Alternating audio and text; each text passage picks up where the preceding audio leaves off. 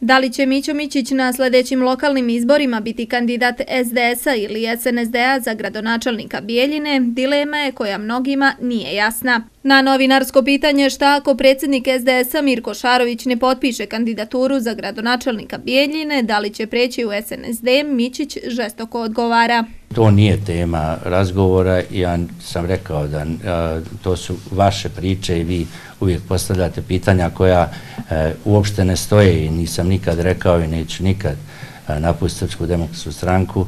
To sam davno rekao i svi moji saranci znaju i svi ovi ljudi iz gradskog odbora znaju da je, evo vidite, i danas jačamo Srpsku demokratsku stranku, a to vi što imate takva pitanja, to nije, ovaj, mislim da nije korektno. I dok uporno tvrdi da ostaje privržen SDS-u te da novinari izmišljaju koje kakve sastanke po kafanama i hotelima sa liderom SNSD-a Miloradom Dodikom, Mičić sve oštro demantuje. Iako je ne tako davno, sam Dodik potvrdio da je sastanka ipak bilo. Tako je danas na preskonferenciji Mičić grubo odgovorio novinarki BN televizije. Jeste li se juče sastali sa liderom SNSD-a Miloradom Dodikom u hotelu Terbaš na Jakovini? Opet, ovaj, iznosite neistine, opet ste jako nekorektni i ako bi ovaj, htio da se s nekim svađam, da ne tužujem, to bi bili vi. Sramota je to što pričate. Imate li vi ikakvog obraza? Imate li vi ikakvu odgovornost kao novinar? Jer to što ste vi sad rekli, to je takva laž i neistina. Bio sam sa predsjednikom Šarevićem, bio sam sa ambasadorom ruskim i na prijemu ruskog ambasadora, a to gospodina koje ste vi pomenuli nisam ni vidio i ne znam oko, na, ni uopšte o koji ste, na koji ste hotel mislili. Znači, jako je nekorektno i bezobrazno što stalno lažete.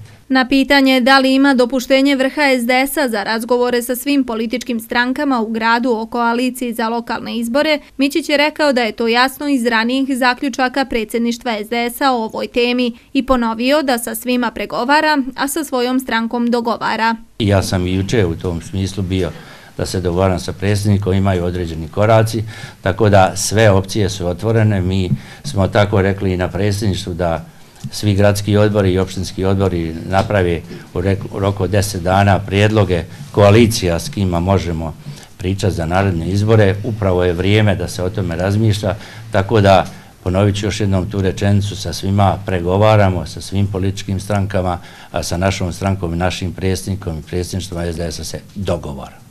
Mićić je dodao da poslanici SDS-a kritikuju vrh vlasti, ali i podržavaju projekte koji su dobri, kao što je autoput i kaže narod to prepoznaje. On je dodao da je gradski odbor SDS-a na pravom putu da zajedničkim snagama ide ne u političku borbu, nego u borbu za projekte i građane i da za to imaju punu podršku šire društvene zajednice i velikog broja političara. Kaže, izgledi napredak Bijeljine svi vide, samo poneki ne vide i priču okreću kako njima odgovara.